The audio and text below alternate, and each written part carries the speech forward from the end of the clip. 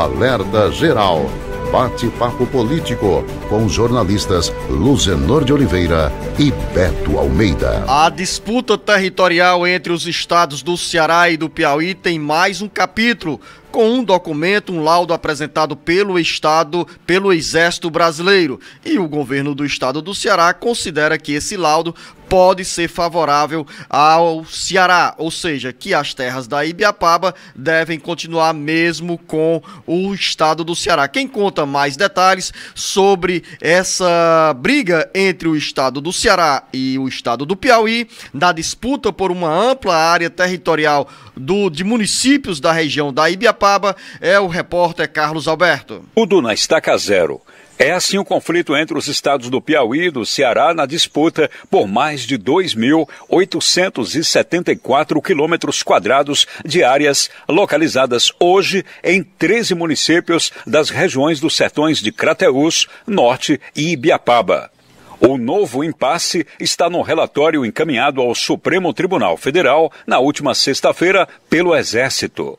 O estudo, acompanhado de uma perícia em documentos e informações cartográficas, não apresentou um marco técnico que definisse com clareza a divisa entre os dois estados após o governo do Piauí questionar os limites territoriais das terras reivindicadas. Foram nove meses de estudos e análises de 90 documentos cartográficos, incluindo mapas históricos, cartas e bases vetoriais produzidos entre os anos de 1760 e 2022. No relatório, o Exército destaca que não foi possível definir a localização exata da linha de divisa entre os dois estados. O relatório observa ainda que pode-se inferir que a linha de divisa foi representada na maior parte dos mapas, não passando pelo divisor de águas da Serra da Ibiapaba, mas sim pela porção oeste da referida região. Um dos questionamentos apresentados pelo governo do Piauí indicava a Serra da Ibiapaba como o ponto correto da divisa entre os estados. De acordo com o estudo, a porção leste seria piauiense e a oeste cearense. O governo do Piauí reivindica uma área territorial que, segundo a ação movida junto ao STF, teria sido ocupada irregularmente pelo Ceará ao longo dos anos, sem qualquer marco regulatório de mudança de divisa. Com redação do Ceará agora, Carlos Alberto. O governo do estado do Ceará espera para os próximos dias um desfecho sobre essa disputa de área territorial de 2.874 quilômetros em 13 municípios da região da Ibiapaba e também das regiões norte e sertões de Crateús. Desfecho do ponto de vista da análise pelo Exército dos documentos a serem apresentados tanto pelo estado do Piauí quanto pelo estado do Ceará como resposta a esse laudo que o Exército divulgou na última sexta-feira. Jornalista Beto Almeida, é mais um laudo, é mais um documento, é mais um estudo que deixa em expectativa milhares de pessoas, principalmente em municípios da região da Ibiapaba. Estamos perto desse desfecho após esse laudo do Exército ou a briga ainda vai ser muito longa no âmbito do judiciário?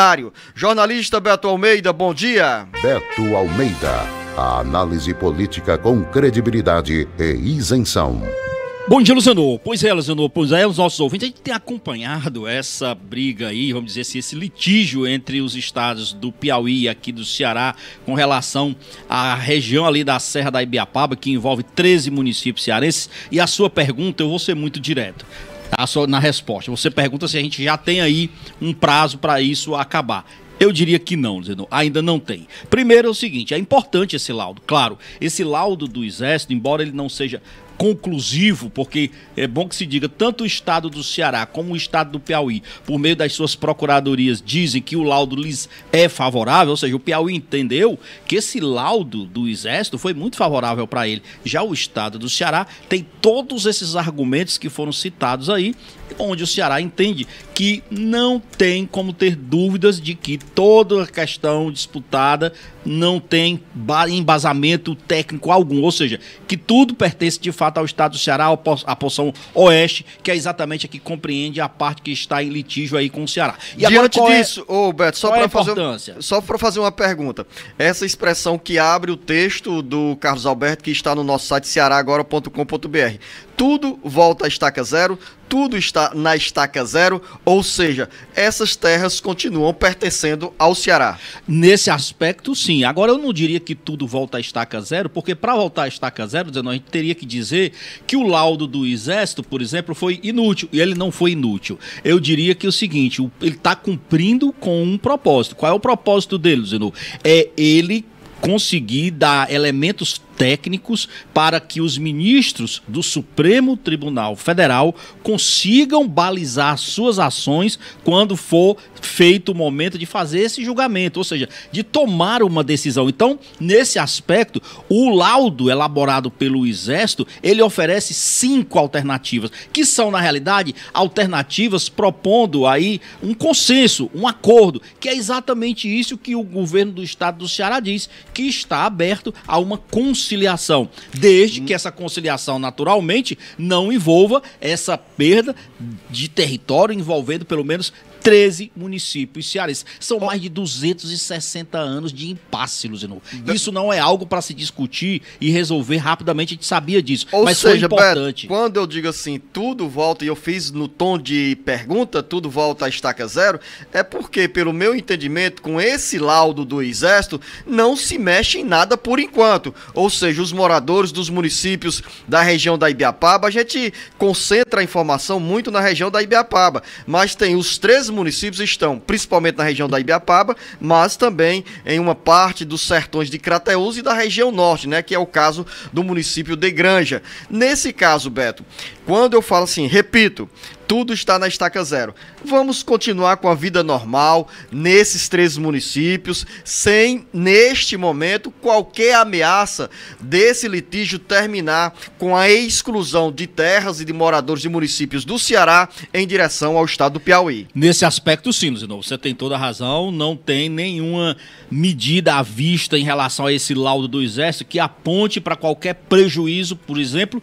para quem mora aqui no lado do Ceará, dentro desse litígio. E o que você pergunta assim, Beto, e tem prazo para isso terminar? Não tem. Ainda não tem uma divisão, uma, uma data estabelecida, uma previsão estabelecida para que o Supremo Tribunal Federal bata o martelo de vez e decida como é que essa história vai ser finalizada. Enquanto isso, vida que segue. Não dá para ficar imaginando, por exemplo, que vai de fato haver essa divisão. O que eu achei de interessante nesse embate, nesse litígio que vem se arrastando, Zeno, é que a questão caminha para uma solução.